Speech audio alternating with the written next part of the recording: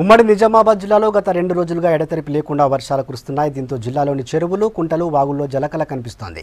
చాలా చోట్ల చెరువులు అలుగులు పారుతున్నాయి. కొన్ని చోట్ల నిర్మాణంలో ఉన్న బ్రిడ్జీలు కూలిపోవడంతో రాకపోకలకు అంతరాయం ఏర్పడింది.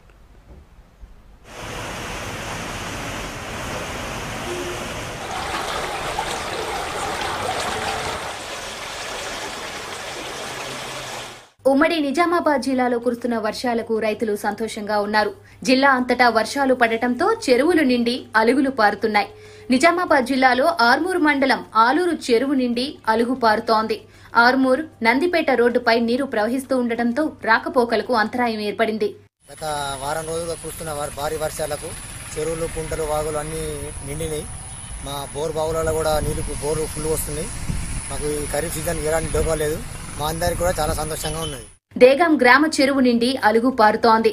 మాక్లూరు మండలం కల్లెడ డిక్కంపల్లి చెరువులు కూడా నిండటంతో అలుగు పారుతోంది.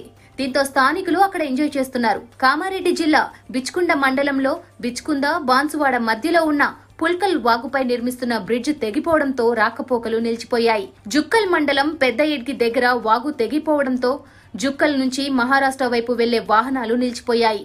దగ్గరలోని గ్రామాల ప్రజలు మాత్రం రిస్క్ చేసి వాగులో నుంచి నడిచి వెళ్తున్నారు. బోధన్ నియోజకవర్గంలో చెరువులు కూడా అలుగులు పారుతున్నాయి.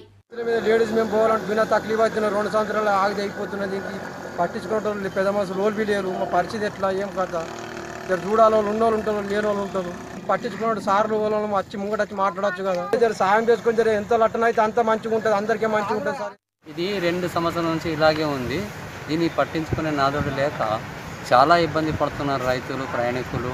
మరి పక్కపక్కన ఉన్నటువంటి పొలాల పోటీ ఆ, వర్షపు నీళ్ళు భారీ వర్షాలు ద్వారా భయ చాలా భారీ వర్షాలు పడడం మూలంగా రైతుల యొక్క పొలాలను కొట్టుకొని పోతుంది. దాని విషయంలో ఇంతవరకు ప్రభుత్వం నుండి ఎలాంటి స్పందన లేదు. దయచేసి దాన్ని నిర్మించి ప్రజల యొక్క సౌకర్యాన్ని కల్పించగలరని కోరుతున్నాను.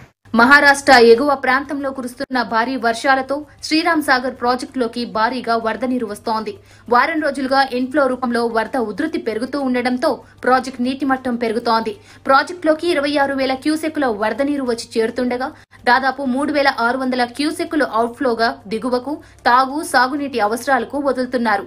ప్రాజెక్టు పూర్తి స్థాయి నీటి మట్టం ఒక వెయ్యి తొంభై ఒక్క అడుగులు. ప్రస్తుత నీటి మట్టం ఒక వెయ్యి డెబ్బై ఐదు అడుగులకు చేరింది.